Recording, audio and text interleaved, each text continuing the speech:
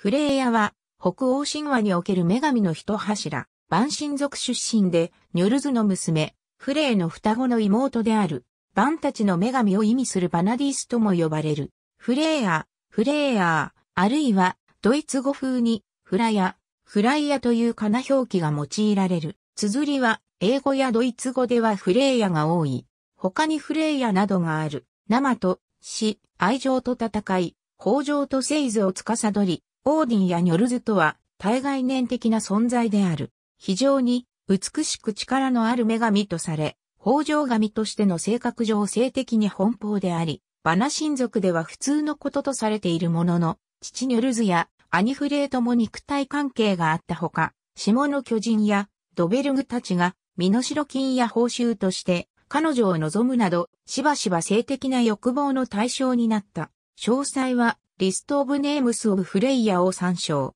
フレイヤという名は、婦人という意味であり、最終的には、ゲルマン祖語のフレワンに由来する。フレイヤは小作戦語で、婦人、女主人を意味する、フリューアや、古高ドイツ語のフラウイと、同根語である。フレイヤという神の名は、今日はもう証明できない神の個人名を置き換えるのに用いられた形容語に起源を持つと考えられている。置き換えの結果、元の名前は完全にタブーとなったか、他のすでに知られている女神に引き移される、あるいは会に置かれるなどの過程を経たかのいずれかであると考えられる。フレイヤは、万神族の出身であり、万神族とアース神族の構想が終了し、和解するにあたり、人質として父、兄と共に、アースガルズに移り住み、アース神族に、製図をもたらした。渡積ニョルズとニョルズの妹の愛の子であり、北条神フレーの双子の妹である、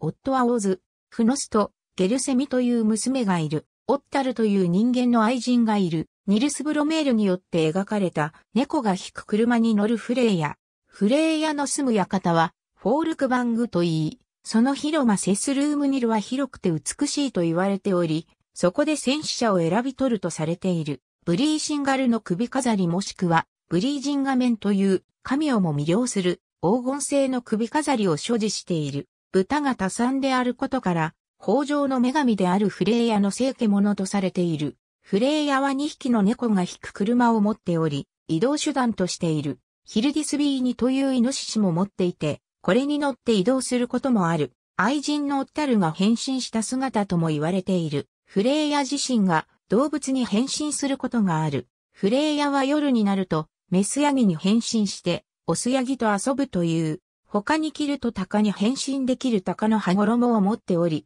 この羽衣は何度かロッキに貸している。フレイヤが小人の洞窟で首飾りを見つける場面、17世紀の写本 AM738-4-2 に描かれたフレイヤ、性に関してだらしない面があり、首飾りを手に入れる際も、制作した4人の小人たちに求められるまま、4夜を共に過ごしたとされる。人間や神々の中にも多くの愛人がいたという。特にお気に入りだったのが、人間の男性オッタルで、彼をイノシシに変身させて、それに乗って移動することもあったという。そのためか、夫、大津に去られている。フレイとも関係を持ったことがあるが、万神族において、近親婚は日常的に行われる。コエッタのロキの口論においても、ロキからフレイヤが兄と一緒にいる時に神々が乱入したことを指摘されている。人間が恋愛問題で祈願すれば喜んで耳を傾けるとも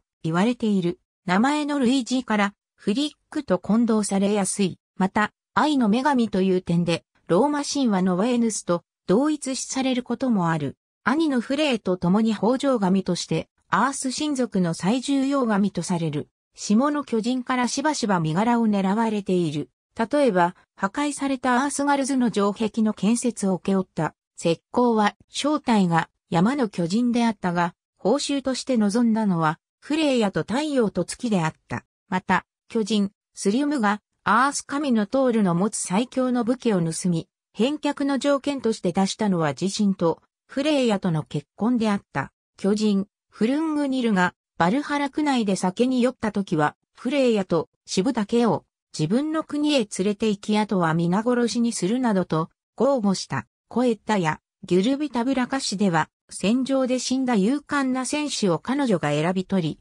オーディンと分け合うという記述がある。なぜ彼女が主審と対等に戦死者を分け合うとされているのか、理由ははっきりしていない。戦死者をオーディンの元へ運ぶのはワルキューレの役割であるため、フレイヤが彼女たちのリーダーだからと考える研究者もいる。あるいはフレイヤとオーディンの妻フリグは同じ女神の別の時期の名前であって二人は同一人物だった可能性もあるという。フレイヤがオーディンの妻ならば死者を夫と分け合うのは不自然なことではない。さらに、キリスト教への改宗が進んだ時期には、フレイヤがフリックの地位を占めるようになっていたとも考えられる。その一例として、アイスランドの狩猟のヒャルティスケッキャソンが999年のアルシングの会場で旧来の神々を冒涜した際に歌った詩は2匹の犬つまりインプのフレイヤとオーディンを一緒にしろという趣旨の二人の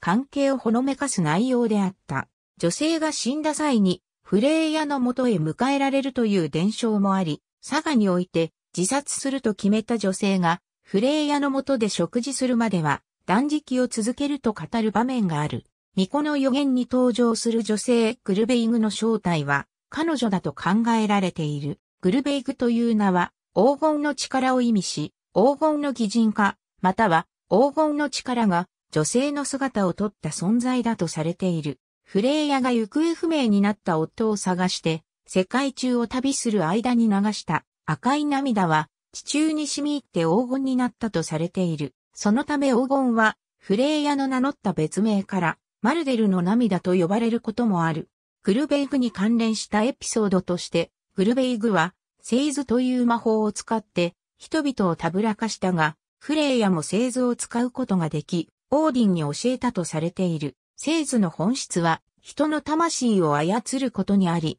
霊を呼び寄せて予言を受けたり、己の肉体から魂を分離して遠くで起きたことを知ることができたという。聖図の使い手は女性とされ、男性が使うことは不快がられた。行方不明のオーズを探す間に、フレイヤは様々な異名を名乗った。例えばマーダル、HRN、ゲフン、SR が知られている。